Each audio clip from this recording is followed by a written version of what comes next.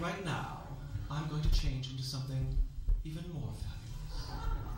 Well, I may be aging, but I'm still stomping the boards, and here I am.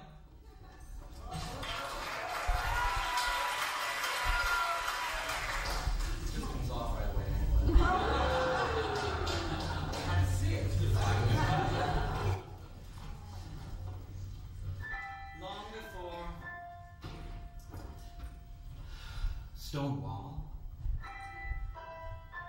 and long before gay pride celebrations,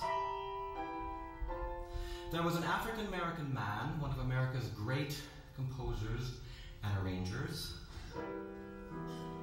who lived an openly gay life here in New York City until his death in 1967. His name was Mr. Billy Strayhorn.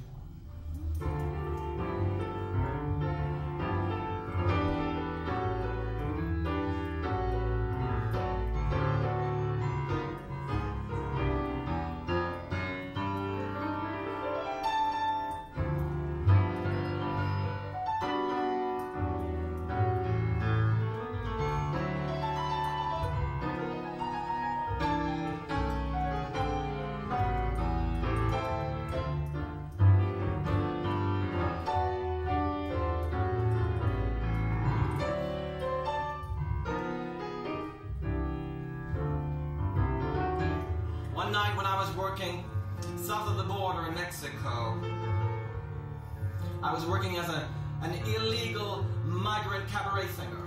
I was taking jobs nobody wanted. I was working in clubs nobody wanted to sing in. Like the Cucaracha Cabaret Casino in Chichen Itza. And the Taco Bell Cabaret Opera House in Oaxaca. I was taking a break in the show. I was sitting at a side table with a couple of cowboys who had just come down from their mountain where they were doing some back-breaking work tending their sheep.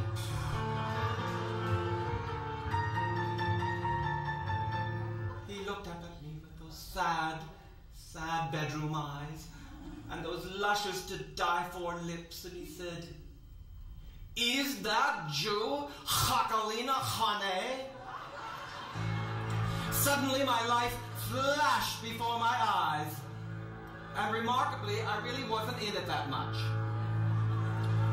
But everything I ever felt for Enrique Fernandez Gomez Hernandez y Rodriguez welled up inside me.